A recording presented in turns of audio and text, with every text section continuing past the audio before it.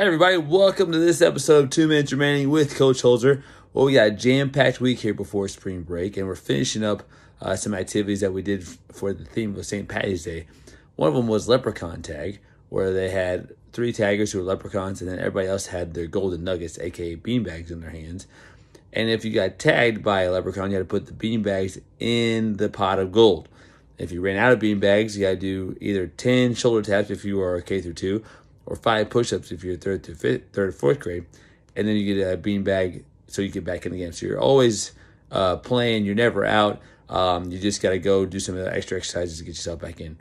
They were playing a game called Lucky Charms, which is a fun uh, kind of game to where there's two leprechauns in a in an Irish house protecting their gold, and then the sailors from Ireland come in their ships. They try to grab the gold and take it back.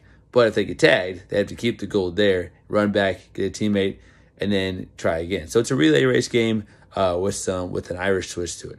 Then we'll flow right into our we're flowing right into our PE games for Easter. Uh, Easter egg hunters, another fun game where you know I have one guy. It's kind of like uh, similar to sharks and minnows. There's an Easter egg hunter in the middle, and then there's people on one side trying to get their Easter egg to the other side. Then the older kids are playing a game called Catch Five. It's a really fun teamwork game of yeah, catch five in a row without the ball getting knocked down or thrown down.